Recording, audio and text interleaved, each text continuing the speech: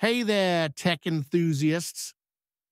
Welcome back to our channel. In today's video, we're going to show you how to check if your processor is ARM64 or x64 on both Windows and Linux, whether you're setting up software or troubleshooting, knowing your processor architecture is crucial.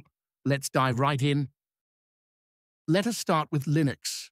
This will also work on a Mac system. Open your terminal and type the following command. If the output is x86-64, your processor is x and 64. If it's aarch64, then you're running an ARM64 processor. Now let's switch over to Windows. Uh, open the Start menu, type CMD, and hit Enter to open the command prompt. In the command prompt, type the following command and press Enter.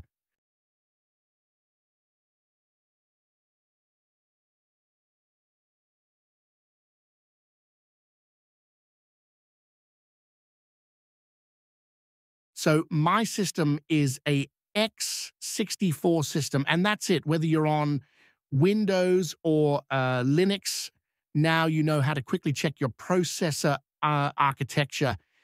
If this video helped you out, make sure to give it a thumbs up and subscribe for more tech tips and tutorials. Thanks for watching, and I'll see you in the next one.